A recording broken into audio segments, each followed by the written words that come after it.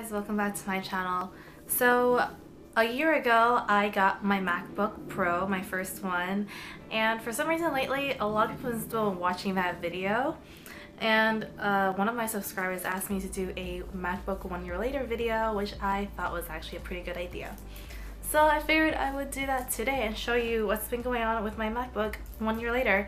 I got it in December last year and today is November 14th so it's pretty much basically a year later. I seriously get so many compliments on my MacBook case. This I actually made it myself and I made another one of these but I absolutely love this. It's um, this material, whatever it's called, a velvety material if you're into NARS makeup. Similar velvety packaging. And the top I just have this beautiful Galaxy decal. It's got light blue, dark blue, pink, purple. Uh, it's absolutely stunning. And the MacBook logo is just perfectly cut out.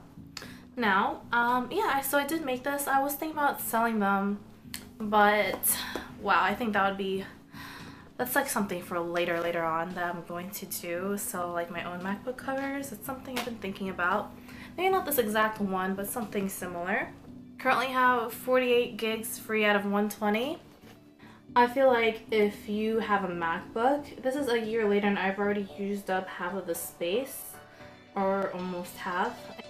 Sorry if this is hard for you guys to see but I've got my Safari my messages. I can text people on here um, even people who don't have iPhone, like without iMessage, I could text someone on an Android or any phone, which I know how to do that. If you guys want me to do a tutorial, I can, but it's really simple to set that up. At my photo booth. Um, I take some pictures with a webcam, and the quality is pretty good, and the pictures come out nice.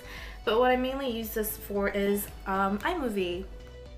I edit all my videos for YouTube on here, and then I can directly upload them.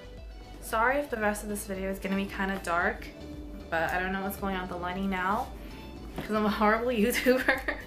um, anyway, so I know how to, I even can answer phone calls on here, so if you guys want me to show you a video on that too, I can do it, but it's really simple. Um, pretty much everything on my MacBook is just synced with my iPhone because of iCloud, so all my notes are on here, just not my photos because I have then I would have like 5,000 photos, not even kidding, if I synced everything from my old phone and my new phone on here.